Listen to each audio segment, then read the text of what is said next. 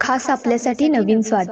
Hotel moonlight खास मासे खवयांकरता इचलकरंजी येथे प्रथमच सुरू झाले आहे.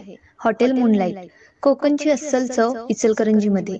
Sea food veg non veg आमच्याकडे फ्रेश माशांचे पापलेट सुरमई प्रॉन्स बांगडा मांदेली खेकडा बोंबील आणखीन बरेच मासे व त्यांची रेसिपी लहानांपासून मोठ्यांपर्यंत आवडणारे तसेच फॅमिली करता स्वातंत्र्य बैठक चिकन मटन दम बिर्याणी प्रॉन्स बिर्याणी तसेच थाळी सिस्टीम सुद्धा अगदी माफक दरात.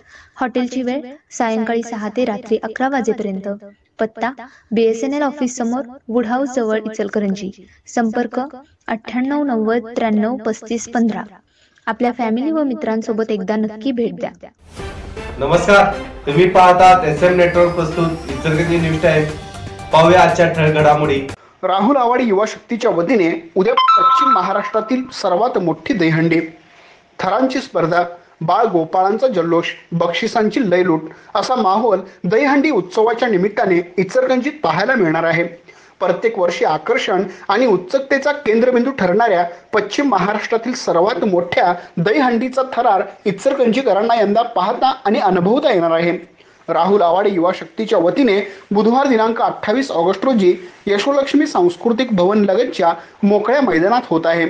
विजेत्या गोविंदा पथकास तब्बल तीन लाख अकरा हजार रुपयांचे बक्षीस मिळणार दिले जाणार आहेत अशी माहिती माजी जिल्हा परिषद सदस्य डॉक्टर राहुल आवाडे यांनी पत्रकार परिषदेत दिली.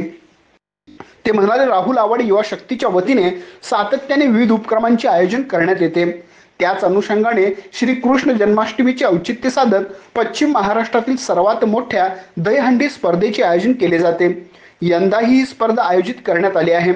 स्पर्धेत मोठ्या संख्येने पथके सहभागी होण्यास इच्छुक असली तरी स्थानिकांच्या प्राधान्य या हेतूने कोल्हापूर जिल्ह्यातील पथकांना प्राधान्य देण्यात आले आहे.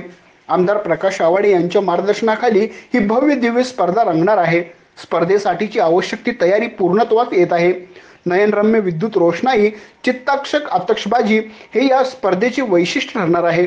पश्चिम महाराष्ट्रातील सर्वात मोठ्या दहीहंडीसाठी अनेक दिग्गज मंडळींची उपस्थिती असणार आहे.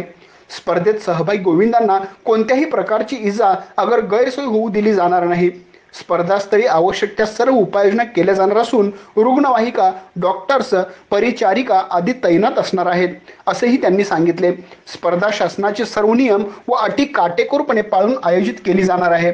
स्पर्धेच्या निमित्ताने रील्स कॉम्पिटिशनचे आयोजन करण्यात आले आहे. या स्पर्धेत जो कोणी उत्कृष्ट रील बनवेल अशा विजेत्यांना आकर्षक बक्षिसही दिली जाणार आहेत. या प्रसंगी तारणी पक्षाचे अध्यक्ष प्रकाश दत्वाडे राजू बोंद्रे सतीश मुळीक नितेश पवार दीपक सुर्वे इम्रान मकानदार सुहास कांबळे अक्षय बर्गे आदी उपस्थित होते. आमच्या प्रतिनिधीसह पाहत रहा एस एम नेटवर्क प्रस्तुत इचरगंजी न्यूज टाईम एक शोध सत्यासाठी.